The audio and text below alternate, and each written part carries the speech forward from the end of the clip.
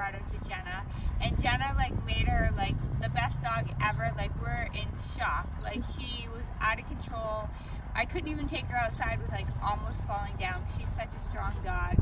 And now she will walk with me, she'll stay with me. She's only been away for like two weeks and she's a completely different dog. We were like absolutely ready to get rid of her before Jenna took her. So she basically saved Karma's life because now she gets to stay with us. So, well, I didn't want to get rid of her, but my boyfriend did after she was being really terrible. So, but she's perfect now.